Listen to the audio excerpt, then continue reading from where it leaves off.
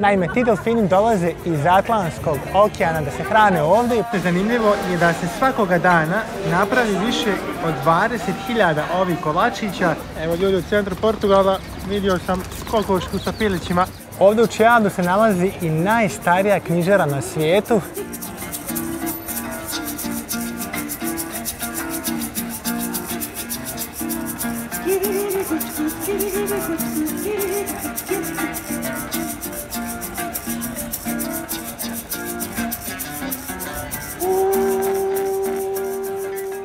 Nemate pojma ljudi kako je dobro ponovo biti ovdje.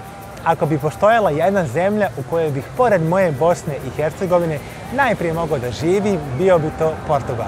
A ono najbolje njega nalazi se baš ovdje u Lisabonu.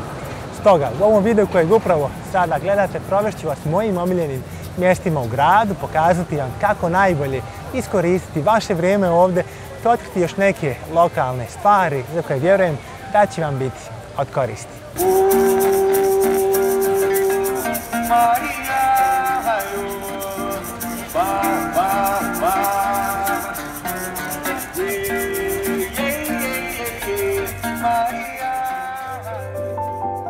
Možda niste znali, ali Lisabon je nakon Atine drugi najstariji grad u čitavoj Europi s obzirom na to da je osnovan 1200 godina prije nove ere od strane Feničana.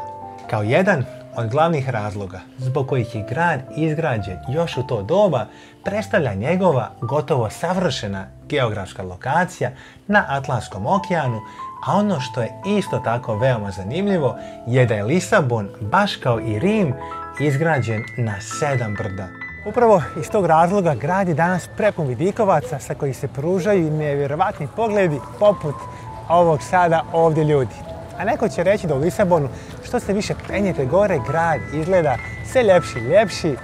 Mada, mada i ovaj trg na kojem se upravo sada nalazim i nije tako loš. Zar ne? Stoga ljudi, moje putovanje Lisabonom započinje na čuvenom trgu Komersio, bez dileme najpoznatijem trgu u gradu na kojem je prije velikog zemljotresa stajala Kraljevska palata. Ovaj trg ćete prepoznati po ovim niskim žutim građevinama, ali i po ovoj grandioznoj triumfalnoj kapi koja se sada vidi iza mene.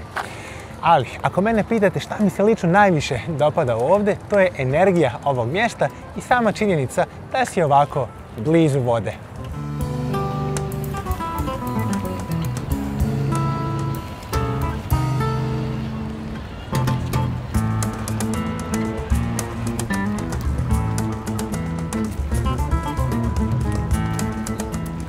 Sad ljudi, ono što mnogi ljudi pomisle kada dođu ovdje je da je ovo u stvari okean, ali nije. U pitanju je rijeka Težo, najveća rijeka u Portugalu, koja je zanimljiva zbog činjenice da u njoj postoji šansa da vidite delfine. Naime, ti delfini dolaze iz Atlantskog okeana da se hrane ovdje i u prošlosti ih je bilo jako, jako mnogo. Danas do duše uslijed mnogih kruzera koji pristižu ovdje sve manje i manje, ali opet sama šansa da vidite delfine kada ste u nekom gradu zaista nešto što izdvaja Lisabon od drugih prestolnica. Ali, vratimo se nazad na priču o zemljotresu kojeg sam malo prije spomenuo. Ovaj zemljotres bio je jačine čak 9 stepeni po Richteru, a zadesio je Lisabon 1755. godine te ostavio čak 85% grada u potpunim ruševinama. Nakon njega uslijedio je i tsunami kao i mnogobrojni požari, a vjeruje se da je na kraju oko 60.000 ljudi izgubilo život. Stoga, gotovo sve građevine koje danas vidimo u Lisabonu izgrađene su nakon zemljotresa, osim dvije koje ćemo vidjeti nešto kasnije i ako sa lokalcima pričate oko toga da li je grad spreman na novi zemljotres koji bi se eventualno nekada mogao desiti, većina će reći da nisu, ali da se prosto nadaju da do toga nikada neće doći.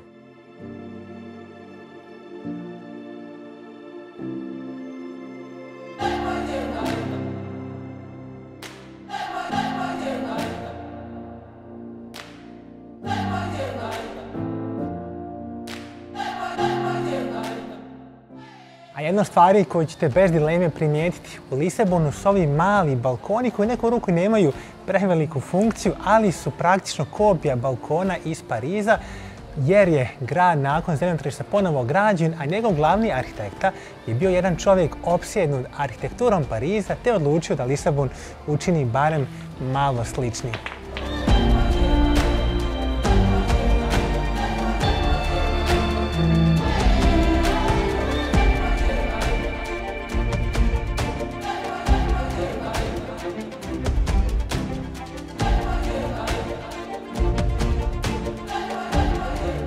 Ono pomalo paradoksalno za sam zemljotres je to da se on dogodio 1. novembra u 9 sati ujutru i taj dan je bio jedan veliki vjerski praznik u gradu i većina ljudi je bila u crkvi i ono najtužnije je to što je većina ljudi zapravo stradala unutar crkvenih objekata.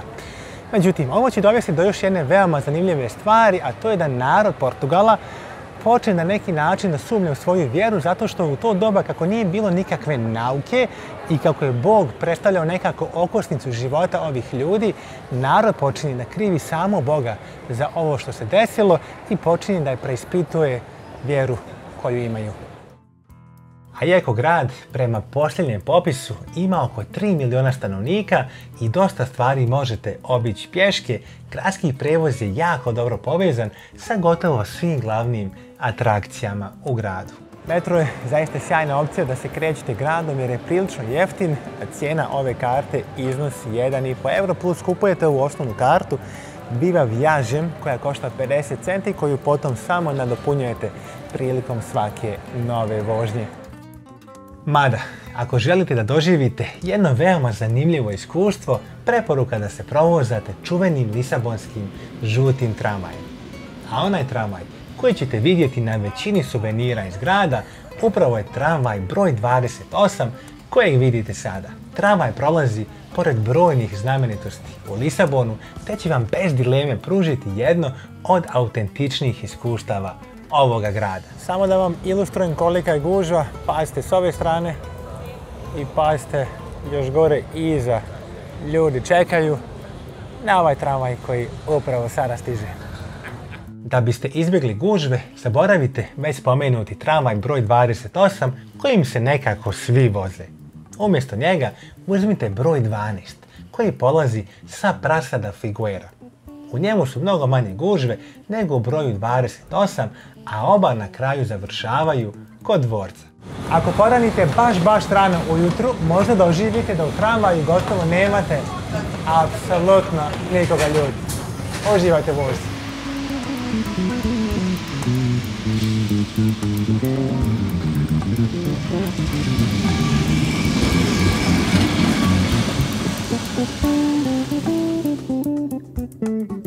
sad, ono što dosta ljudi ne zna je da ovi tramvaji koji sada vidite iza mene nisu napravljeni u Portugalu, već vjerovali ili ne u Americi. Naime, čuveni lisabonski žuti tramvaj u neku ruku predstavljaju kopiju kočija koje su prevozile ljude sa jednog mjesta na drugo u čuvenoj američkoj četvrti Harlem u Njurku, a u Portugalu čak nose ime Americanus.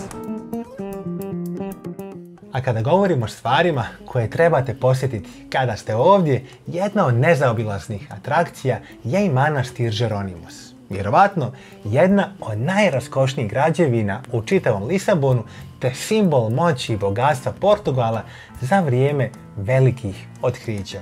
Gradnja manastira je započeta u čast uspjeha Vasca de Game na mjestu kapele gdje se istraživač sa drugim članovima svoje posade molio noć prije polaska na putovanje koje će kasnije promijeniti tok evropske istorije. Inače, sam Vasco de Gama sahranjen je u manastiru zajedno sa nekoliko kraljeva Portugala i drugih važnih ličnosti iz ove zemlje. A ukoliko poželite da posjetite ovo mjesto, najlakša opcija je putem tramvaja 15T koji iz centra grada stiže baš ovdje na ovo mjesto. A veoma blizu ovog prelijepog manastira kojeg ste malo prije imali priliku vidjeti nalazi se i spomenik otkrića kojeg sada vidite iza mene. Veoma značajna atrakcija grada zato što su sa ovog mjesta baš ovdje u 15. i 16. vijeku isplovljavali brodovi na dalek i opasan put ka Indiji i nekim drugim zemljama. Spomenik sadrži 33 ljudske figure koje simbolizuju moreplovce ove zemlje, a izgrađen je 1939. godine u spomen na zlatno doba Portugala.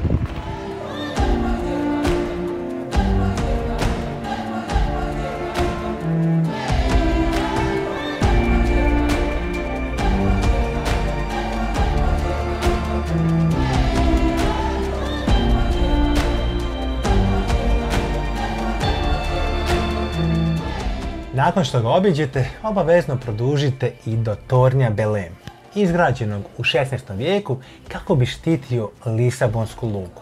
Toran je dobio ime od portugalske riječi za vitlem, a jedno vrijeme služio i kao zatvor. Danas ipak služi nekoj potpuno drugoj svrsi te predstavlja jednu od najposjećenijih atrakcija grada te ljudi širom svijeta dolaze ovdje da se dive ovoj raskošnoj arhitekturi. A dok stojiš ovdje i razmišljaš kako su sa ovog mjesta u doba velikih otkrića isplovljavali brodovi u potrazi za novim trgovinskim rutama, ne možeš a da ne odaš poštovanje prema njemu.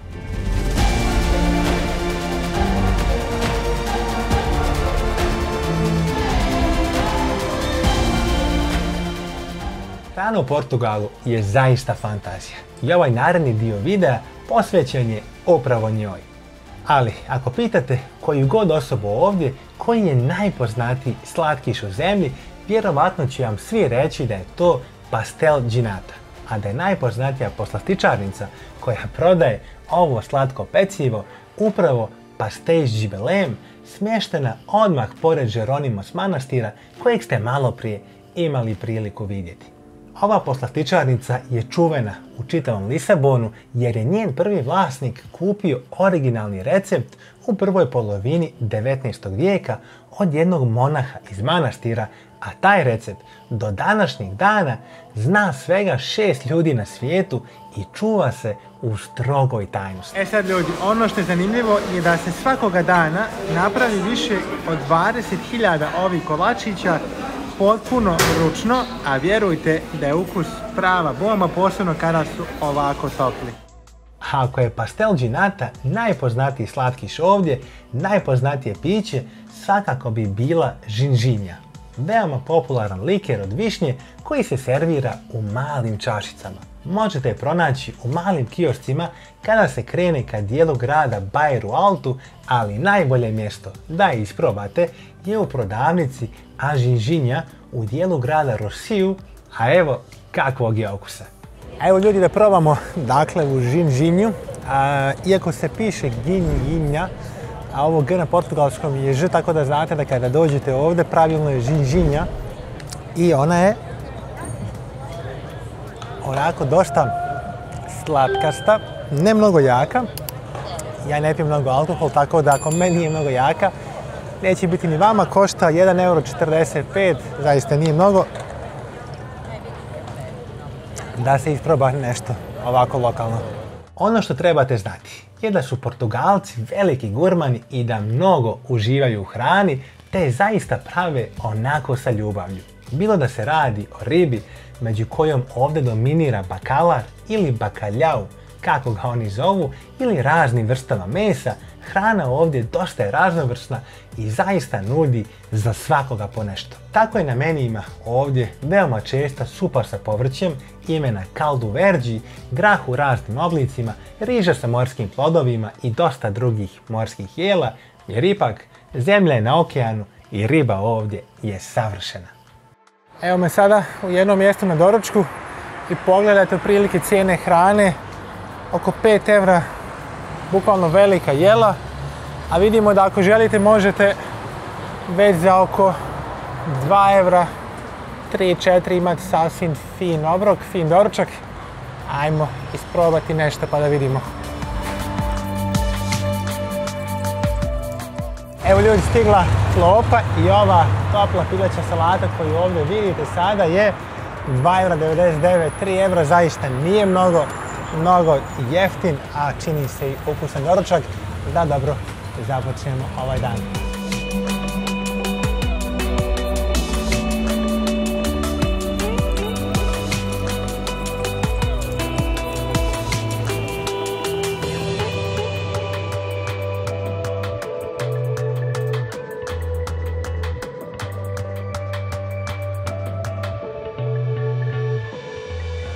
Sad ljudi, ono što trebate znati prije nego dođete u Lisabon je da je dosta brdovito kao što vidite i da gdje god da krenete ćete vjerovatno hodati uzbrdo nizbrdo, tako da bicikl nikako nije dobra opcija.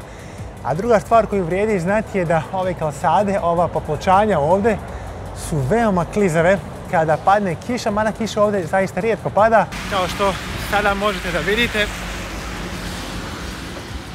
te grad ima preko 300 sunčanih dana godišnje, ali da znate ukoliko se zadesite u jednom od tih 60, da se dobro čuvate kada hodate po ovom terenu.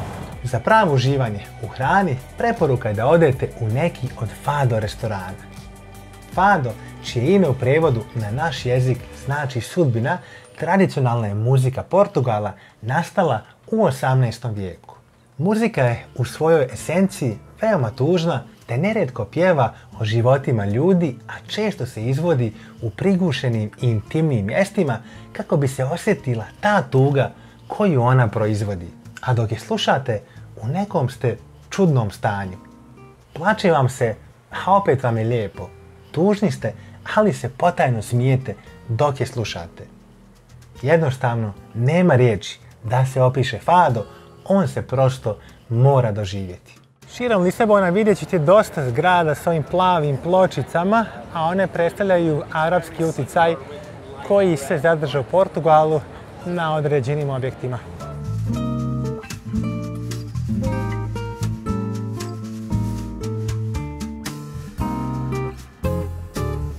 Kao jedna od atrakcija u Lisabonu izdvaja se bez dileme i ovaj lift kojeg sada vidite iza mene imena Santa Justa Elevador koji vodi do vrha do jednog sjajnog vidikovca kojeg imate gore, ali su gužve, kao što vidite, ogromne. Te mislim kako Lisabon na sedam brdara postoje mnogi drugi vidikovci i za naravno mnogo manje para.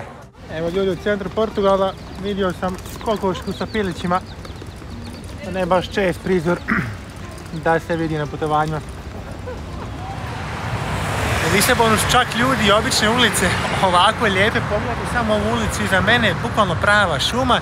Mada ako se okrenete sa druge strane imate prelijepu arhitekturu i taj neki spoj prirode, parkova i prelijepih fasada i istorijskih građevina je baš ono što daje Lisabonu taj neki poseban šmek.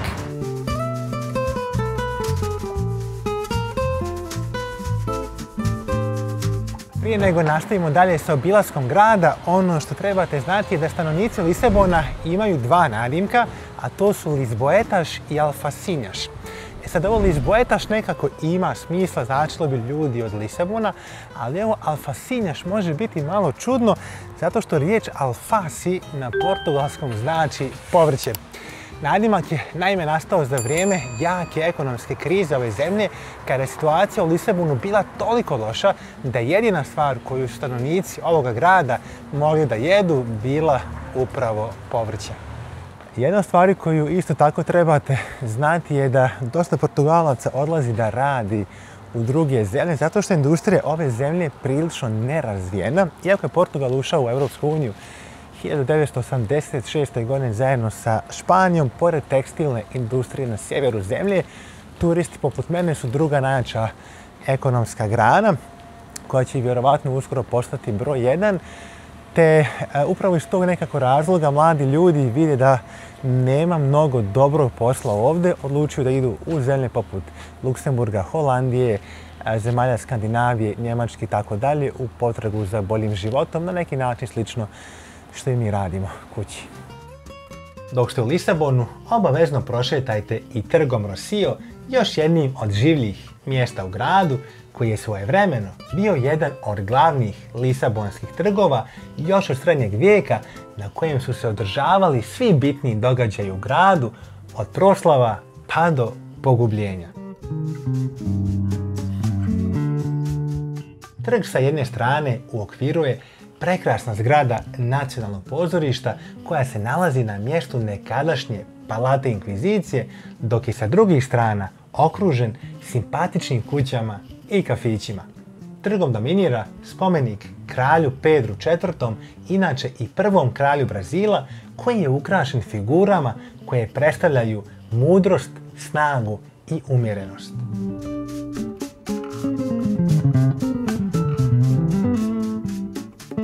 A ono što isto tako vrijedi znati je da ovaj spomenik iza mene je posvećen Luižu Đika Moješu, bez dileme najpoznatijem portugalskom piscu svih vremena.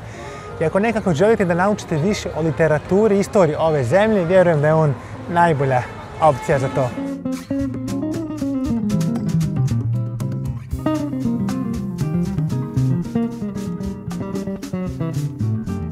A ponekad nema potrebe obilaziti turističke atrakcije ovoga grada, već je samo dovoljno doći u jedno naselje poput Bajiše Čijada ili Bajer Alta gdje sam sada i doživjeti onu pravu energiju Lisabona.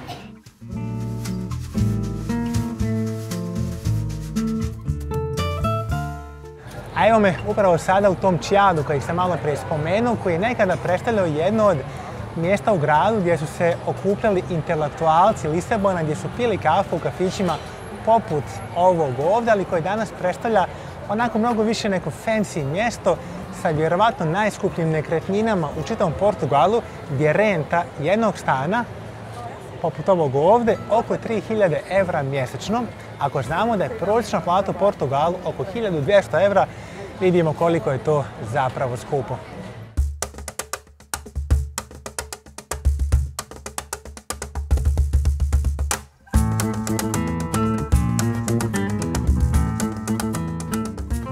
Ovdje u Čijadu se nalazi i najstarija knjižara na svijetu. Imamo čak Guinnessov rekord za nju.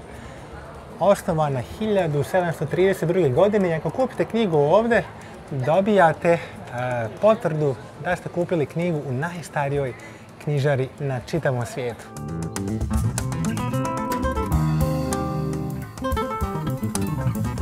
A da Lisabon nije samo istorija i trgovi, u gradu ćete vidjeti ovu Rozu ulicu, čim se spustite iz naselja Bajeru Altu, a u posljednje vrijeme veoma popularna na Instagramu, pa ko voli ovakva mjesta, svakako može doći i ovdje.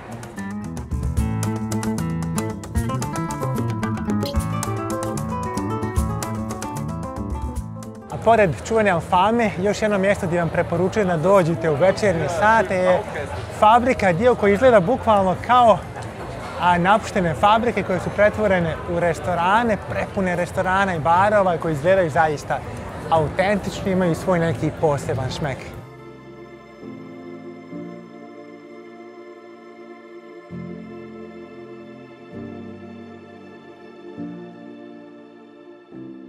I ovdje, na ovom mjestu, završava moje putovanje Lisabonom.